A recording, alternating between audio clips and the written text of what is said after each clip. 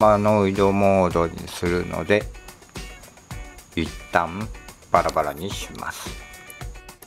このように撮影ベースに入らないぐらいバラバラにします。でここから本体。これをさらにバラバラにします。で外して。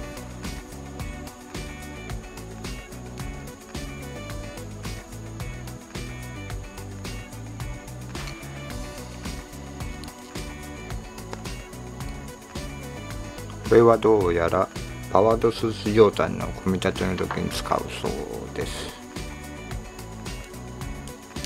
でこれも外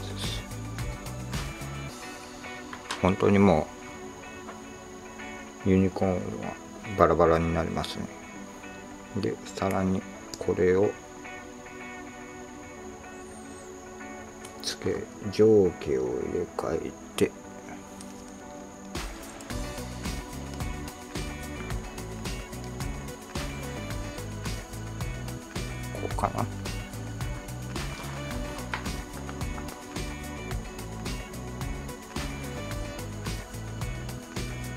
取り付けて次が後ろ足部分ですね。これ。これを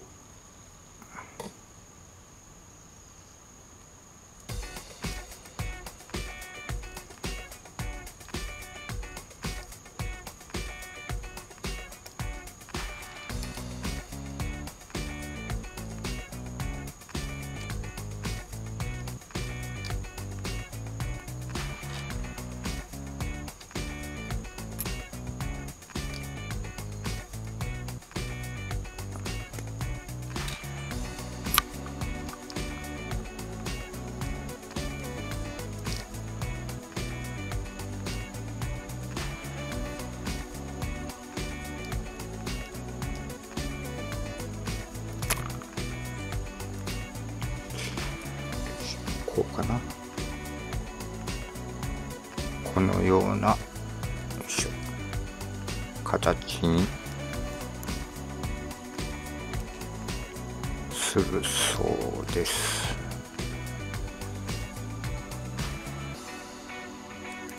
でこれを本体に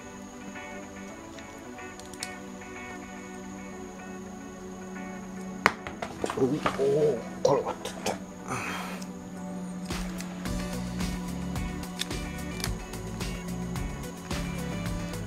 取り付け。てこんな感じかな。こういう形になるみたいですね。で次が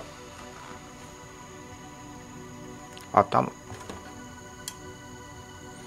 まずこれをスポット抜きます。抜きますし。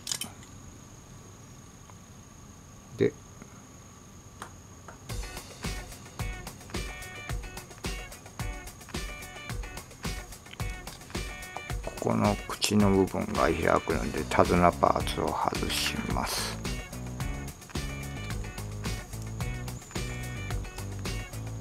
でここを外すとここへ頭部が出てきます。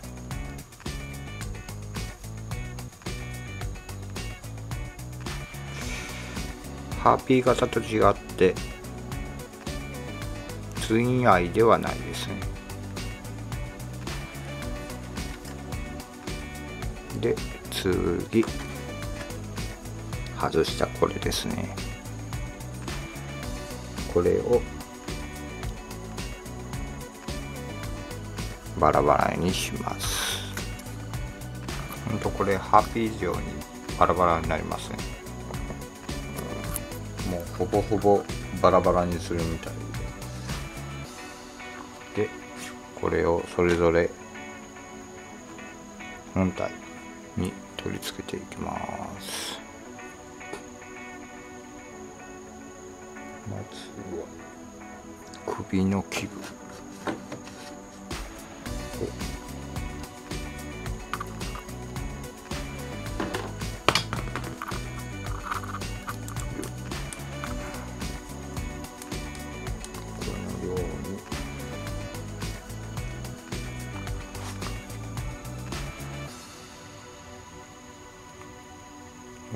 形してここから合体用のアタッチメントパーツを出してジョイントを出して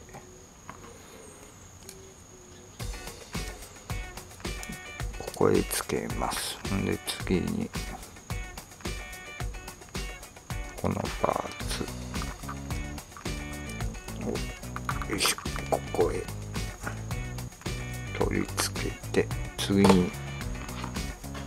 尾っぽのパーツですね。これもやっぱりここからジョイントを出して。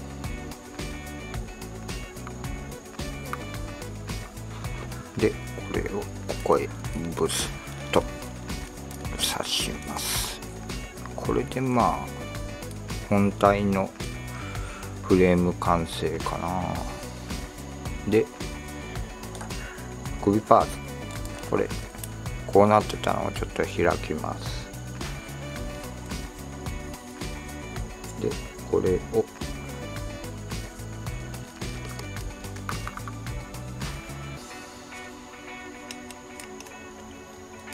ここの部分にブスッと。刺します。でオブ。オブというか尻尾をここへこ。うこんな感じですかね。まだこれじゃまだフレーム部分っていった感じですかね。ではさらにこれに。いろいろ取り付けていきます。首倉庫。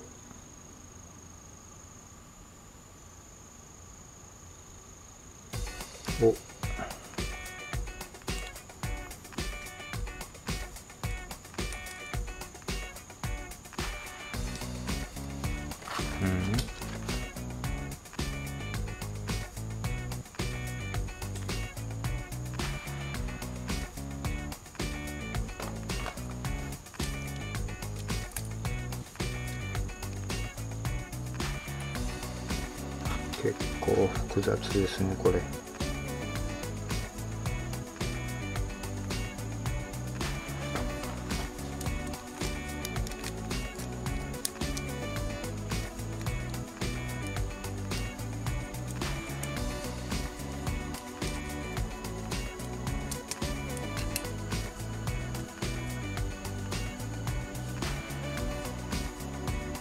多分この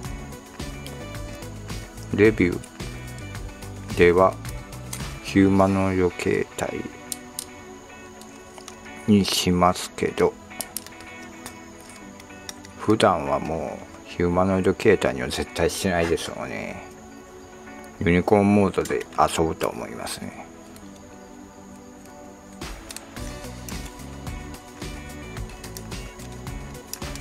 というかやっぱりユニコーンモードが一番安定してるんですよね。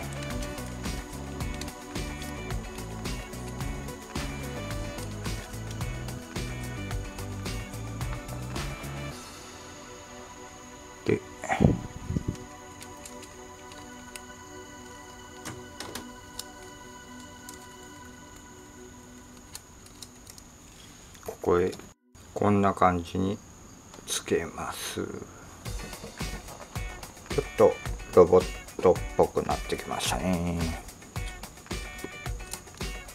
で次はこのパーツですね。これを。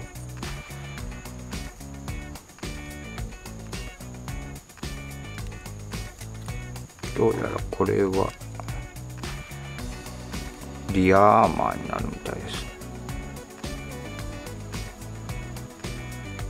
こんな感じか。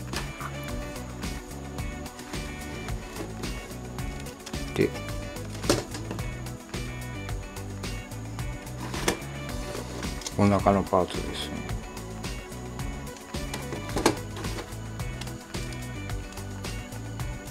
これをこう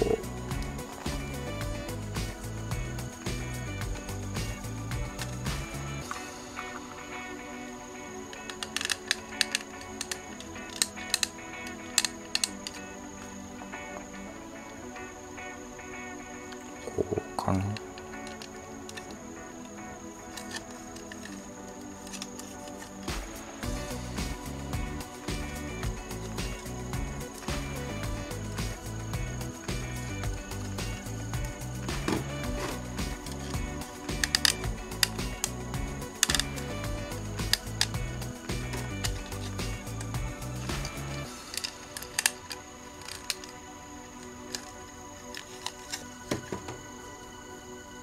当にこれ変形がこう複雑なの。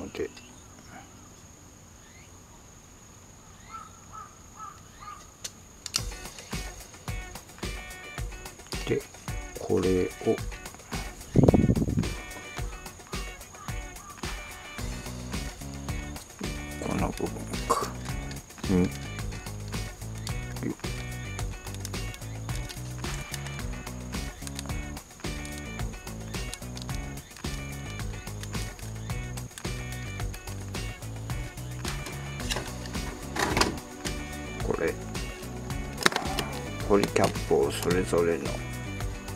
向きにしないといけないから。そこはちょっと面倒かな。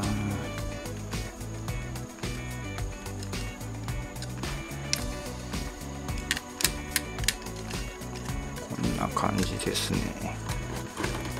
ハッピーガスでこう比べてごついことごついこと。次。これの変形。まずこいつを。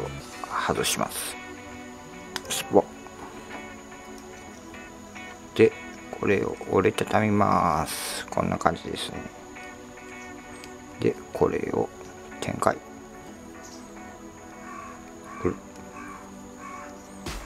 で先ほど外したアーマーをここへ。あるのでここへプスッと刺します。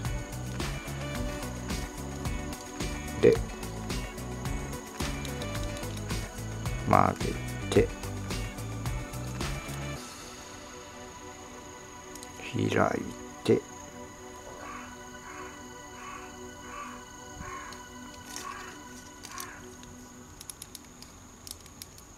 こうかな。これで腕の完成ですね。こちらも曲げて。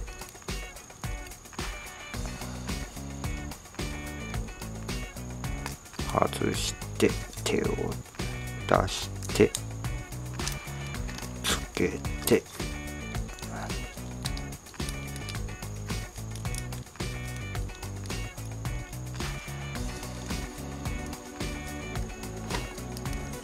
これで両腕の完成ですね。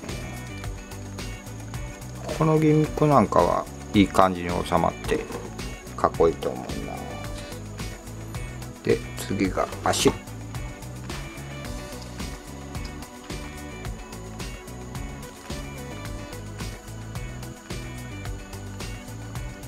足足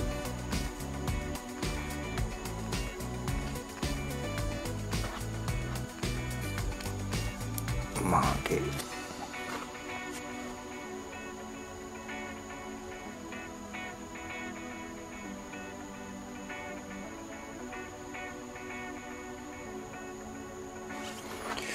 足の変形がいまいちよくわかんないんだな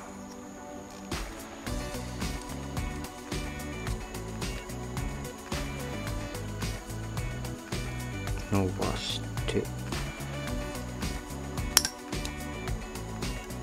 こうか。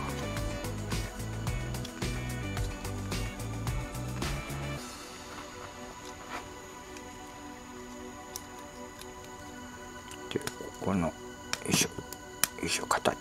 硬い。これ別に引っかかりがないから硬いんですよね。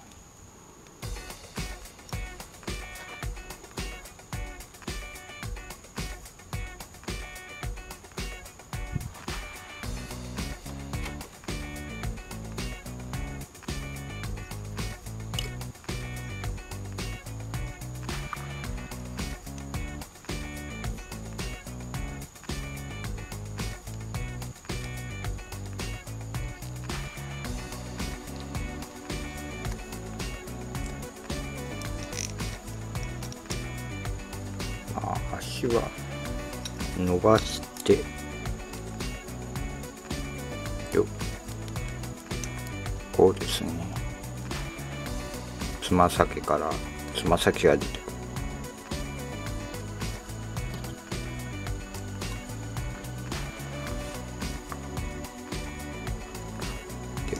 これはどうやらここにはめて。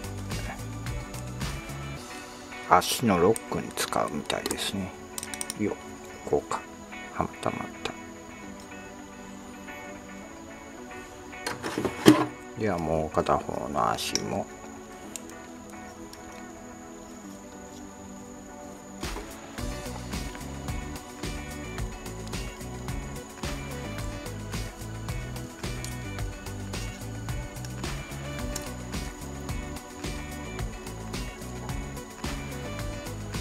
ハッピー型と比べて安定しやすそうな足ですね。まあただちょっとかかとがちょっと短い気もしますけど。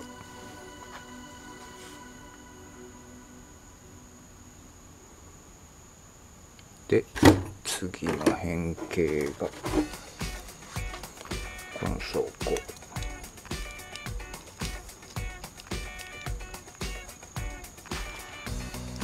伸ばします。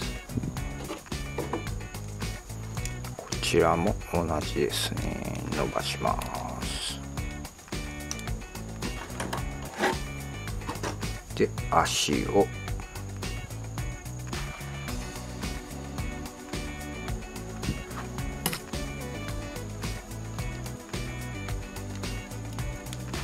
合体させます。このこのポリキャップをまっすぐにしてなんですけどまあ刺してまっすぐにしましょう。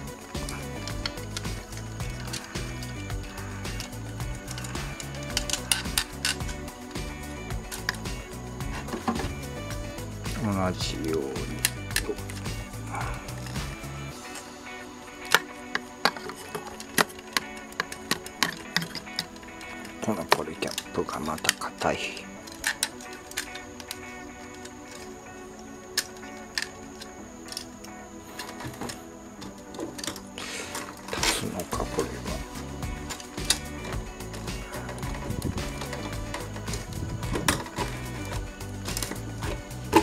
バランスがすっごい悪い気がする。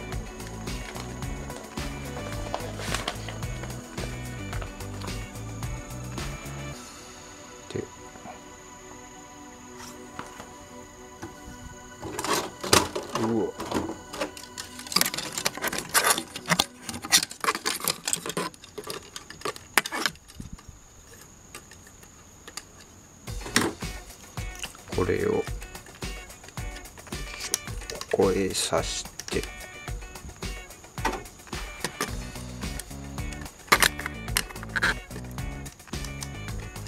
前に持ってくるみたいですね。どうやら。こんな感じになるそうです。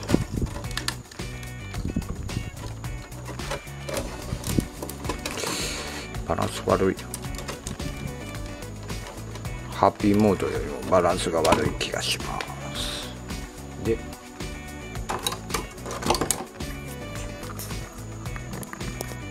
両腕をつけます。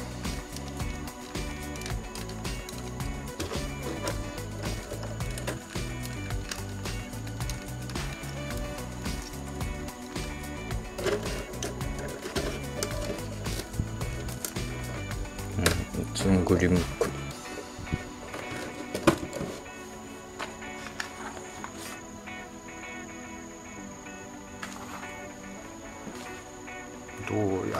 これで完成みたいですね。バランス悪いなこれ。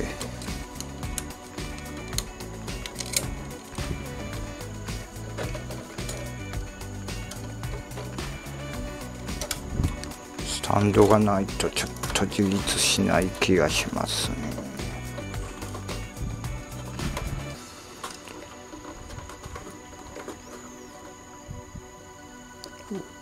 立つか。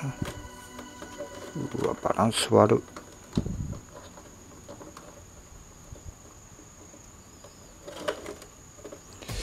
ハッピーモード以上にバランスが悪い。ですということでこんな感じです。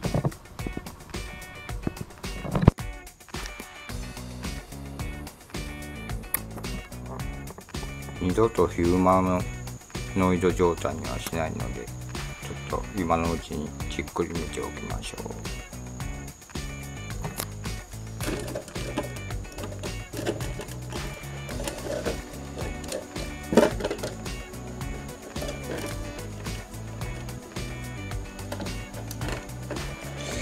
横は立たない。まあちょっと手で押さえることになりますが横。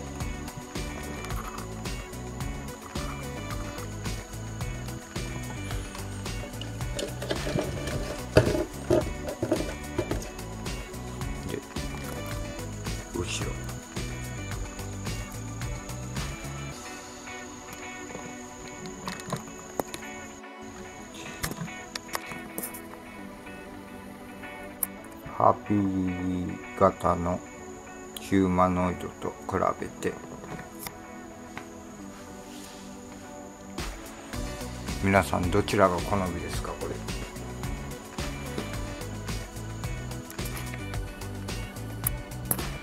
重厚感でいけば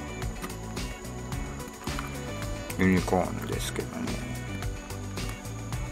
まあハッピー型はスカスカなんですよね。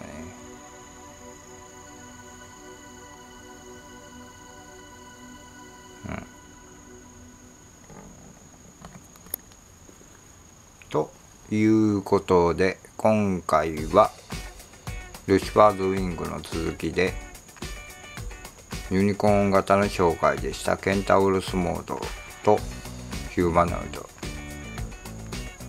に変形しますがヒューマノイド状態は正直もう二度とやらないでしょうね。と言ってもパワードスーツ状態にするのはどうやらユニコーン型のヒューマノイドモードとハーピー型のビーストモードからなるみたいなのでとりあえずユニコーンはこのままですね。でハーピー型はビーストモードにしなきゃならないですけど。まあユニコーンモードの方はもう単体で発売してくれたら嬉しいですね。そしたらもうユニコーン携帯のまんまでフレームアームズがあるとか載せて遊ぶんですけどね。まあちょっと安定が悪いけどケンタウロスモードはまだマシですね。ヒューマノイド状態に比べると。ヒューマノイド状態は本当にポロリはないですけどバランスが悪い。まだハッピー型の方がバランスがいいです。ということで今回の動画はここまでにしたいと思います。チャンネル登録コメント高評価等よろしくお願いします。ヤンタの工房でした。